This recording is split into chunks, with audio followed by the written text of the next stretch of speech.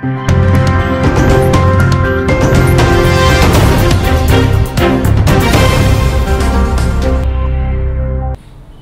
రాష్ట్ర ప్రభుత్వంలో ప్రభుత్వ నిర్వాహకం వల్ల ప్రైవేటు విద్యా సంస్థలు ప్రభుత్వ విద్య నిర్వీర్యమైంది. ఏ విద్యా ప్రమాణాలు పెంపొందించాలనో సమాజంలో తోటి వాళ్ళతో పోటీ ప్రభు పోటీతత్వంలో ఎదగాలనో ఎదిగే విధంగా కాకుండా ఒక నయా పెత్తందారుల ఒకనాడు తెలంగాణ ప్రాంతంలో ఉండే పెత్తందారులు గ్రామాల్లో పాఠశాల నెలకొల్పాలంటే ససేమిరా ఒప్పుకునే పరిస్థితి లేకుండేది కానీ ప్రజాస్వామ్య ప్రభుత్వం ఏర్పడిన తర్వాత ప్రజల కొరకు ప్రభుత్వాలు పనిచేయాలా?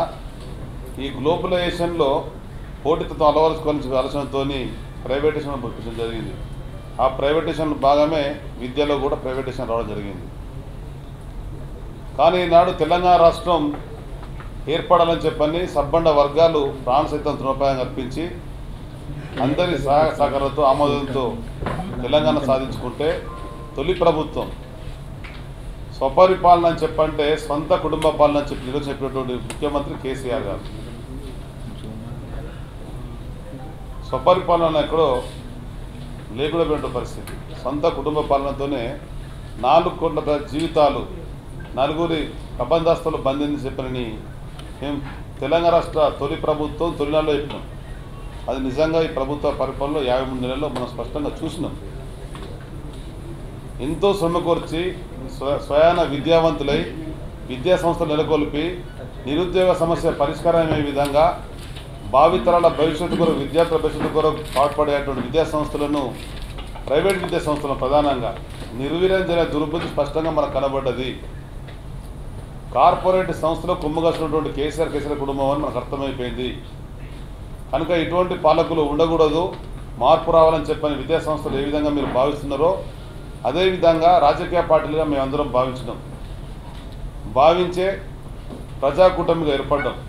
ప్రజాకూటమి ఏర్పడ్డ తొలినాళ్ళలోనే తెలంగాణ రాష్ట్రంలో రాజకీయ ప్రకంపనలు వచ్చినాయి.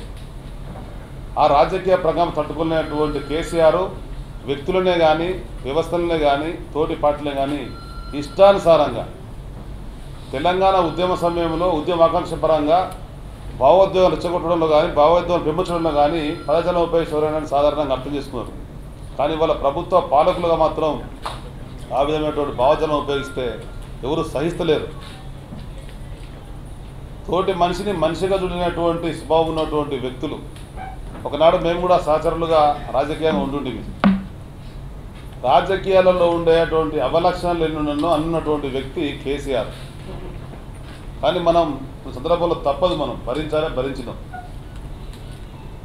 ఉద్యమ సమయంలో ఆడు చెప్పిన మేము మొత్తం నేను ఆయనతో స్వయంగా పోటీ పడ్డటువంటి వ్యక్తి పార్లమెంట్. కానీ తెలంగాణ రాష్ట్రం రావాలనే ఆకాంక్షతోని నిజాయితీగా పోటీ చేసినాం. రెండు వేల ఆరు రెండు వేల ఎనిమిదిలో. ఒకవేళ దుర్బుద్ధి రోజులు ఉంటే ఆనాడు ఆయన ఓడిపోయే పరిస్థితులు ఉండే. మా సొంత జిల్లాలో స్థానికంగా ఉన్నటువంటి పెద్ద జీవనరెడ్డి గారు కానీ నేను కానీ పోటీ పడ్డప్పుడు మేము ఏ ఒక్కరో వెనుకడిగేసినా కానీ కేసీఆర్ ఓడిపోయే పరిస్థితి. కానీ తెలంగాణ ఓడిపోతున్న భావనతోని నిజాయితీగా పోటీ చేసినాం అటువంటి వ్యక్తులు మేము ఇవాళ. కానీ వాళ్ళు చూసిన పరిస్థితులలో నాలుగేళ్ళలో ఇటు విద్యా సంస్థలు నిర్వీర్యమైనాయి రైతాంగ ఆత్మహత్యలు పెరిగిపోయినాయి ఇస్తున్నటువంటి ఉద్యోగ లక్ష ఉద్యోగ అసెంబ్లీ ప్రదర్శన ఇవ్వలేకపోయిండు అని చెప్పినటువంటి ఏ హామీ కూడా అమలు చేసిన వ్యక్తి. ఐదు బడ్జెట్లలో ఆరు లక్షల యాభై వేల కోట్లు ప్రవేశపెట్టి ఆరు లక్షల ఎనభై వేల కోట్లు ప్రవేశపెట్టి యాభై మూడు నెలల పాలనలో ఆరు లక్షల కోట్లు ఖర్చు అయిపోయింది ప్రభుత్వ లెక్కల ప్రకారమే. రెండు లక్షల కోట్లు అదనంగా అప్పు ఇచ్చినటువంటి ప్రభుత్వం ధనిక రాష్ట్రాన్ని దోపిడీ చేసి దివాల్సినటువంటి కేసీఆర్ కేసీఆర్ కుటుంబం మనం చేస్తున్నా. వాళ్ళ అనుమాయులకు వాళ్ళకి అండదండ ఉండే వరకు దోచిపెట్టినటువంటి వైనం స్పష్టంగా మనకు కనబడ్డది. ఒకనాడు హైదరాబాద్ నగరంలో వాళ్ళ అల్లుడు హరీష్ రావు అబ్బాయి చెప్పుతో తిరుగుతుంది వాస్తవ కాల్చులు మీరు తెలుసుకోండి. అబ్బాయి చెప్పుతో తిరిగే హరీష్ రావు గారు ఏ స్థాయికి ఎదిగిండో అర్థం చేసుకోండి వాళ్ళు బిడ్డ కొడుకు అమెరికాలో ఉండే. అని చెప్పినటువంటి మాట ముసలోని ముసలి ఉన్నది తెలంగాణ కాపల కుక్కలు ఉంటున్నాడు. కానీ అది ఒక మనకు కనబడని ఒక చీడ పురుగు అని చెప్పినప్పుడు అర్థమవుతుంది మనకి ఒక విష పురుగుగా తయారైంది. కనుక ఈ విష పురుగు చీడ పురుగు తెలంగాణ సమాజంకి వెళ్ళి పాల్సిన బాధ్యత మన మీద ఉన్నది వాళ్ళు మనందరం ఇచ్చినటువంటి కార్యక్రమాల ద్వారా తెలంగాణ సమాజం మేల్కొల్పుతున్నది దానికి ఆ పెనుమార్పులలో ఇవాళ మీకు మీరుగా తయారై తెలంగాణ రాష్ట్రం భవిత కోసం అని చెప్పాను ఎవరు మీకు చెప్పలే. మీరే తయారు ఒక బాధ్యత గల పౌరులుగా తెలంగాణ సమాజం కొరకు సమాజ హితం కొరకు పోరాడుతున్నటువంటి ఆనాడు తెలంగాణ ఉద్యమం నిలదొక్కుకునేదని చెప్పండి.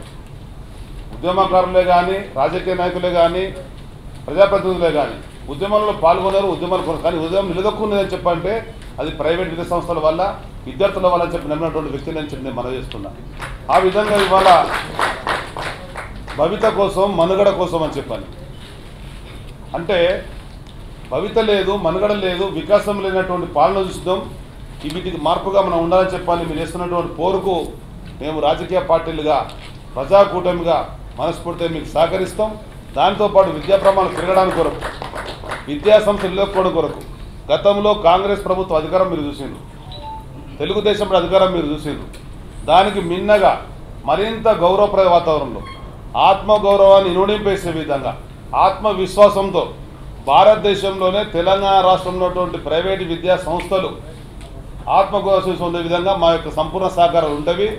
మీరు చెప్పినటువంటి డిమాండ్లలో అన్న ఉత్తమమైన ఇంతకుముందే మన బిడ్డలు చెప్పారు దానికి అనుగుణంగా గౌరవాలు చెప్పారు దాని కొనసాగిస్తారు వారు మళ్ళీ. వాటన్నిటిని సాహిత్యమైన న్యాయమైన కామన్ ప్రోగ్రామ్ మేము పెడుతున్నాం. ఆల్రెడీ కొన్ని పెట్టినాం. వాటన్నిటి కూడా అమలు చేసే బాధ్యత మానించబడి మనం వేస్తున్నాం ఒక విద్యావంతి విద్యావంతుడు స్వయాన్ అయినటువంటి ఒక మేధావి పెద్దలు కోదండరామ్ గారి నేతృత్వంలో భారతదేశంలో ఏనాడు కూడా పొలిటికల్ చేసి ఏర్పడలే. మొట్టమొదటిసారిగా పొలిటికల్ చేసి ఏర్పడింది. ఒక నిస్వార్థమైనటువంటి విద్య బిడ్డైనటువంటి కోదండరామ్ గారి నేతృత్వం ఉండాలని మనం భావించినాం. నా యొక్క మాటలు ఒకవేళ ఈ టీవీలో రికార్డ్ అయి ఉన్నట్టయితే కళింగ భవన్ ఒక మాట చెప్పిన. తెలుగుదేశం పార్టీ పరంగా ఉండేటువంటి ఉద్య ఉద్యమ సమయంలో భావోద్వేగాలతో రెచ్చిపోతున్నటువంటి యువత ఉన్న వాతావరణంలో ఒక యువకునిగా ఒక విద్యార్థి నాయకునిగా వచ్చినటువంటి నేను ధైర్యంగా వెళ్ళి తెలుగుదేశం పార్టీ పక్షంలో పాల్గొన్నా. ఒకవేళ రికార్డు ఉంటుంది చూడండి అన్నాడు. ఒకటే మా మాట చెప్పిన. మన ఆకాంక్ష ప్రజలాకాంక్ష తెలంగాణ సాధన. అందరం కూడా నిస్వార్థంగా నిజాయితీ నిబద్ధతగా ముందుకెళ్దాం. కానీ పొలిటికల్ జేఏసీ అనేది ఒక వ్యక్తికి ఒక పార్టీకి అనుకూలంగా నిలిచినట్టయితే అది మనకడ సాగించలేదు. లక్ష్యం సేవభూము అందరం కూడా సామూహిక లక్ష్యం ఉండాలని చెప్పి చెప్పిన వ్యక్తిని ఈ రమణ అని చెప్పి మనం నాటి నుంచి నేటి వరకు నలభై రెండు సంవత్సరాల రాజకీయ అనుభవం ఉన్నది. కార్యకర్తగా జీవితం ప్రారంభించినాం. ఇరవై నాలుగేళ్ళ ప్రత్యక్ష రాజకీయాలలో ఉన్నాం. తొమ్మిది సార్లు ఎమ్మెల్యే ఎంపీగా పోటీ చేసిన చంద్రశేఖరరావు గారు పదిసార్లు పోటీ తర్వాత.